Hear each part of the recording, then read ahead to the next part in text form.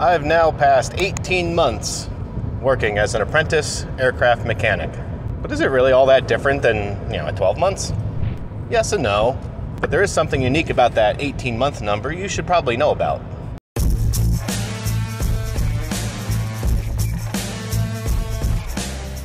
Hello and welcome to another edition of Grease Monkey Gab.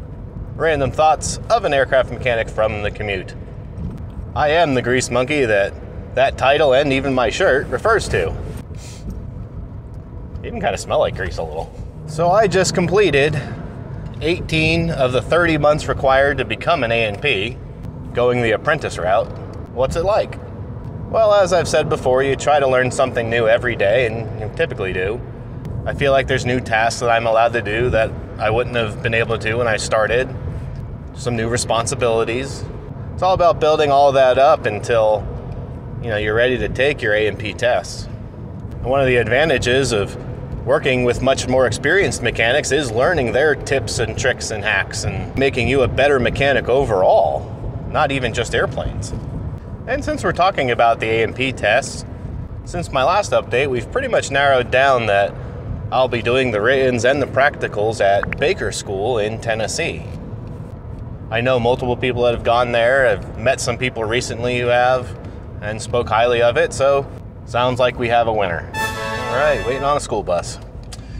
We've got another apprentice that'll be going there in the summer. Maybe I can get him on here to talk about his experience. But really, what's so special about that number 18 months?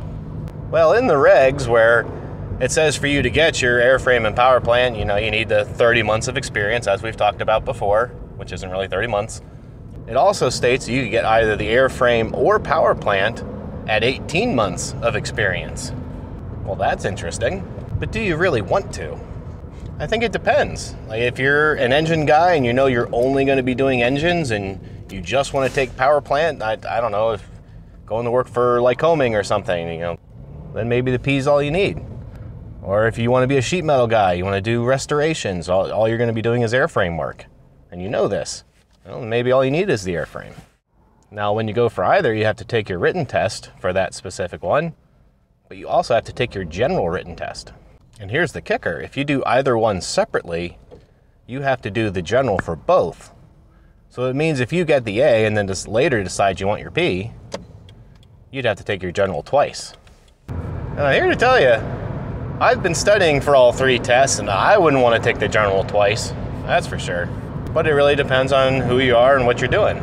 But if you want to be a more well rounded mechanic, or especially if you want to get your IA, you're better off just slogging it out the full 30 months. So, were you an apprentice and you got your A or P at 18 months? Got any questions about working as an apprentice and getting your A and P?